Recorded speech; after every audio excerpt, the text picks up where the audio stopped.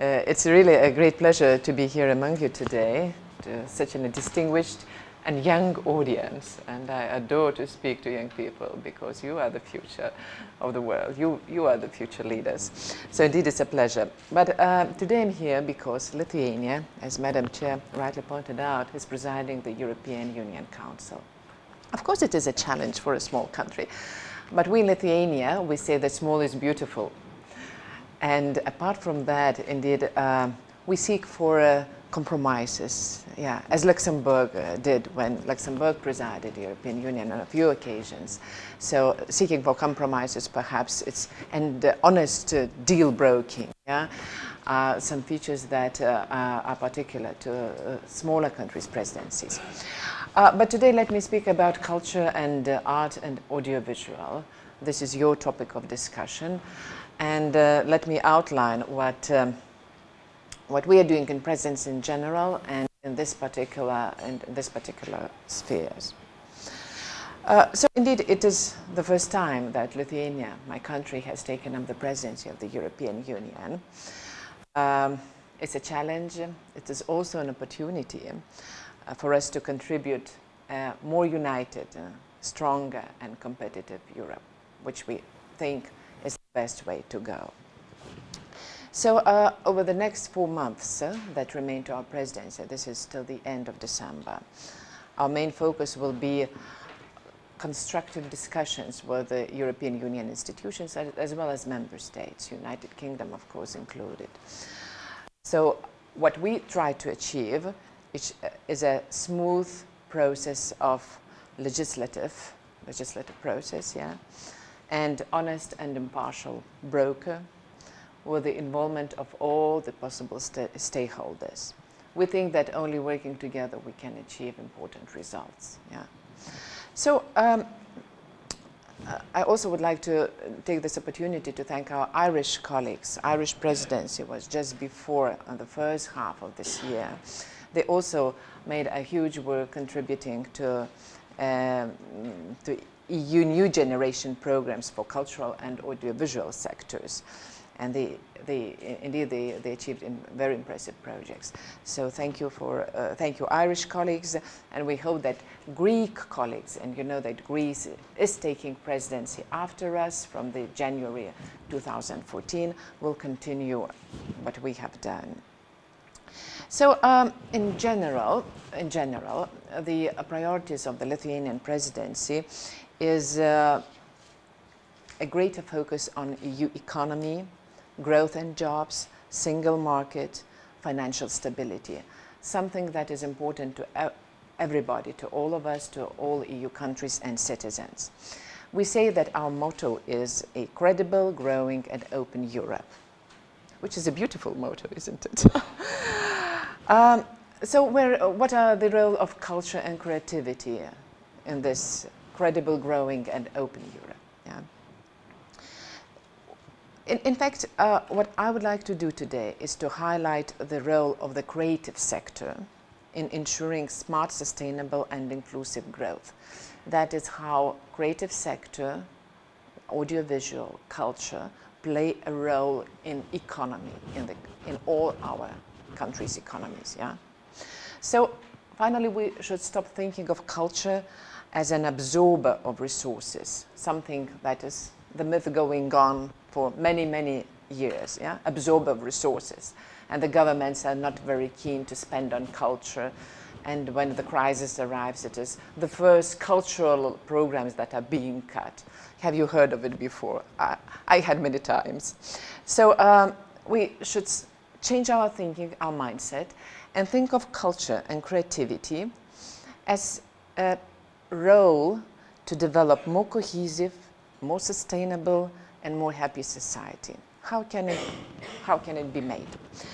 We do believe that participation in cultural programs, cultural projects, gives individuals the opportunity to express themselves, nurture the, the ability to express and to accept others' difference, as well as to develop necessary social skills. So we may say, as a conclusion, that culture is the basis of the present diversity, communality, and our identity, both on national level and on European level. So we may say also that culture-based creativity is the engine of our present-day economy, with the cultural and creative industries growing faster and more stable. We, again, we speak here about cultural industries, yeah, something which is, which is new, something which did not exist uh, decades ago. I may say that this sector of economy, cultural industries, they create more than 7 million jobs in the European Union, 7 million jobs. So uh, here you see the link with economy very, very transparent, yeah? And the input of cultural and creative industries to economy today constitutes up to 5% of GDP. And in some countries, like for example in the UK, it's even 6% of GDP. So again, a very, a very tangible link with the economic and financial situation. So um, what is going on on European Union level is the there are discussions in various EU bodies, EU Council and EU Parliament, of uh, how to ensure the long-term strategy at EU level to, to, to continue to facilitate the, the, uh, the uh, development of these creative sectors. And of course, how to ensure that they have also proper financial instruments to, to, to be able to, to develop. European Parliament recently adopted a resolution, uh, a resolution about cultural, cultural and creative industries and uh, also and also about the proper financing, financial mechanism. So um, apart from that, there are a few other initiatives that will be important during this remaining, uh, remaining four months. So let me, let me say a few words about them. So first of all, there is a decision to, important decision to establish a new union action, the, called, the so-called union action for the European capitals of culture.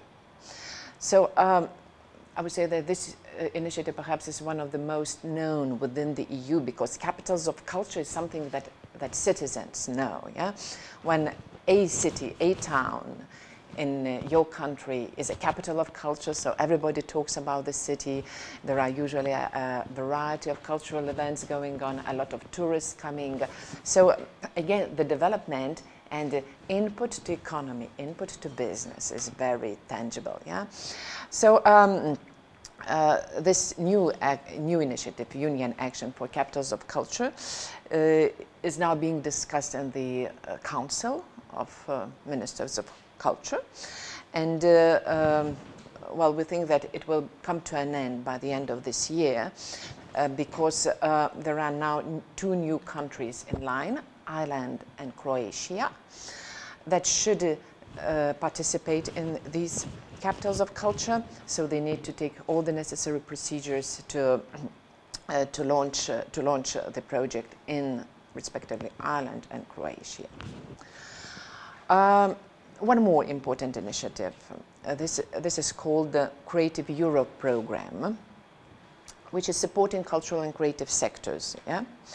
And the Europe for Citizens program, which promotes European citizenship and of course preserving the remembrance of common European history. Again, two different things, but rather important. Uh, in fact, concerning the uh, progress achieved on the Europe for Citizens program, uh, we do foresee that uh, this is a very important program. You know, again, we, we are talking on governmental level that, well, how to, how to present European Union as acceptable to citizens. What is the problem that sometimes European citizens and European governments cannot hear each other, cannot understand each other. So this year is the year of European citizens, and that is why we're talking about citizens' participation in governance, how citizens' voice could be heard by their governments and by European institutions like European Parliament, for example, how citizens could present their initiatives, yeah? and uh, who will take care of their initiatives to be proceeded and eventually implemented. So um, this is what the Europe for Citizens program is about. Again, uh, again, we are talking about more prosaic things, budgets, and then when it comes to budgets, uh, the budgets are always low, they're always not sufficient, they're being cut. But even having uh, a rather small budget with a creative, uh, creative interpretation of that budget, people do can achieve things. Um, one more, uh, one more initiative uh, during our presidency will deal with cultural objects, and in particular, cultural objects which are unlawfully removed from the territory of the member states. Uh, this is uh, a topic which has been on board since 1993. 1993, when the internal frontiers of European Union were abolished, yeah, the cultural objects, uh, as all goods, uh, yeah, started to move around. Nobody really uh, took control, the border control, as there was no border control, no customs control within the European Union. Yeah? So also the cultural objects which were classified in their countries and as national treasures, they began to, to move around. Uh, so again, uh, uh, there is a directive, uh, uh a EU directed on this subject, and the analysis, the, the, assessment of this directive showed that the directive is very limited. And very limited means that uh, there is no even, well, there is no input in fact.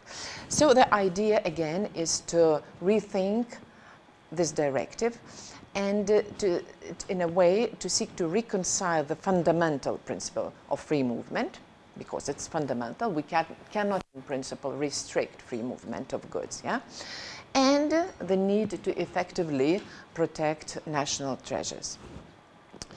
Uh, so again, um, again uh, we started discussions. Uh, different member states have different opinions, and um, and it's not that easy to to, to achieve a, a sort of united and united um, um, decision. But still, we believe that this is important and we should proceed. Um, what, what is in, inside the directive? So again, it's uh, to reinforce the cooperation between member states at the administrative level, and it means to exchange information about cultural values, cultural heritage, yeah? To use internal market information system for that purpose, and um, and then to make, uh, to make these cultural treasures, cultural heritage uh, movements more controlled, even within the EU territory. Well, last but not least, audiovisual sector. Audiovisual sector, which is now very much in fashion. Everybody talks about audiovisual. It's something new. It's something very, very attractive. Yeah. So um, with all the technological developments, you know, that the audiovisual media landscape is changing so, so quickly. So again, during the presidency, we will make special emphasis on the development of the Connect TV and to the merger of traditional broadcast services with the internet. Yeah? Connect TV, which means that TV set and, uh, and internet and computer are merged into one. So again, under these new conditions of audiovisual sectors, we think that what is important, still important to maintain media pluralism and freedom under these conditions. Yeah, media pluralism remains remains uh, a topic, uh, a topic of discussion. Again, with all the possibilities to interact, to interactive uh, uh exchange of opinions, and then uh, and then the control. Should should should there be any control if yes, to what extent, yeah. So again, uh, we think that we need a sort of more coordinated action on this topic on EU level. And uh, EU cultural ministers will gather in Vilnius, in my capital, on 2nd October to discuss specifically this, uh, this topic. Um, yeah, perhaps one more thing speaking about digital environment, yeah, digital environment uh, is something um, uh, something which could be put into use, into very practical use in traditional uh, traditional schemes, like for example libraries, yeah, we still remember libraries, uh, huge rooms full of books. Usually it's very quiet, calm here. You come, you take the book, you read the book in the library, yeah? This is not the picture anymore. It's all, um, we are going to a digital library, yeah, to virtual library. And uh, we would say one of the most, most successful examples of such digital libraries is called, maybe you know, it's Europeana, Europeana, a virtual European digital library. Yeah? And again, what is important that member states and governmental level and NGOs and, and citizens, public in general, will cooperate in creating a better Europeana, a better library. Yeah? And also it enables to broadcast the digitalized cultural heritage. That is, all cultural heritage is being put into computer, yeah, and then it is accessible to much more greater public than than than a normal normal traditional library. And again, it is important because this exchange of cultural diversity is important for our citizens. It's important for promotion of European values as well, and for, of course, for maintaining, for preserving cultural heritage. So, again, we are ready to initiate discussions concerning the challenges, the challenges uh, for the distribution of the digital content, digital content, yeah? And uh, uh, part of it is um, digital content in films, yeah, in movies, yeah? And again, one of the key issues in this area uh, is the digitization of films. And cinemas and online distribution of films using, uh, again, various platforms like mobile devices, like smart TV. Yeah? So um, there are two things. Again, digitized films enables people to access, to access on their smart uh, devices. Yeah? And again, it's, uh, uh, it helps to uh, preserve and, and archive materials. Yeah? Preservation and archives is also important here. And it's also a certain promotion of European cinema and European film industry, among other things. So these are the outlines of what we are doing now in cultural and audiovisual, what we shall be doing uh, another four months till, uh, till, till, January. Of course, uh, it does not mean that after January everything will stop. Uh, uh, there will be a certain continuation on these programs. We believe that these programs are important, they're meaningful, and we, we are ready to continue them. But before, before I finish, let me say that during our presidency here in the UK, we're doing a lot of cultural events. Uh, um, a lot of concerts, exhibitions, art exhibition, design exhibition, architectural exhibition, whatever. Jazz, a lot of jazz. Lithuanians love jazz, so uh, a lot of jazz singers will be coming here in London, in Edinburgh, Cardiff, Glasgow, and we'll be doing a lot of concerts. So please visit our website. It's um,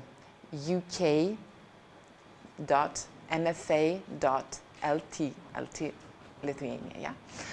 And uh, be in touch with us whenever you want. I invite you all, come, feel at home in our events, and I will be most happy to congratulate you there. Thank you so much, Madam Chair. Thank you.